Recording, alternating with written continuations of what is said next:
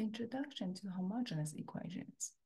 If a function like f has the property that when you substitute tx and ty instead of three variables x and y, and it becomes t to power alpha f of x and y, then you're going to say that f as a function is a homogeneous function of degree alpha.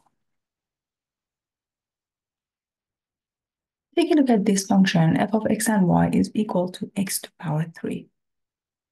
As you're noticing, it doesn't have any y in it. To check to see if it's a homogeneous function, we're going to plug in tx for x and ty for y.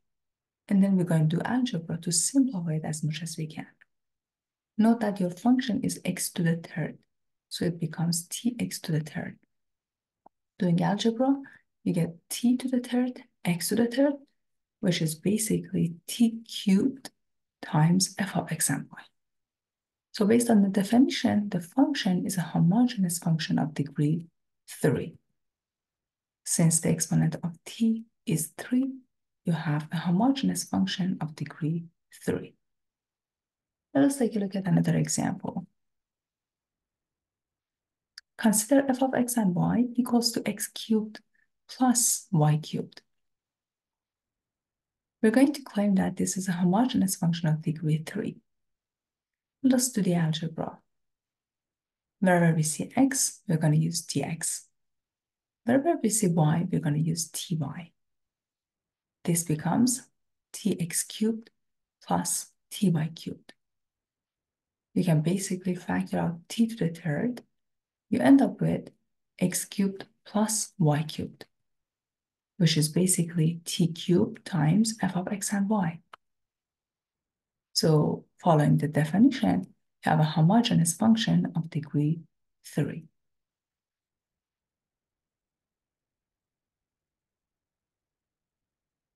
The degree is 3 because t has exponent 3.